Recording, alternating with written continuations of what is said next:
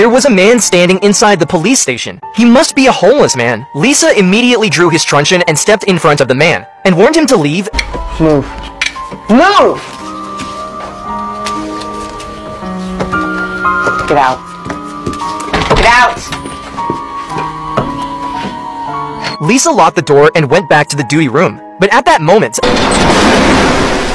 Lisa followed the sound, but the lights in the corridor suddenly went out. In the darkness, Lisa heard a rummaging sound coming from one of the rooms. But when he went in, he realized it was the homeless man again. This time, Lisa wasn't so good-natured. He immediately took out his handcuffs and cuffed the homeless man and dragged him to the holding cell.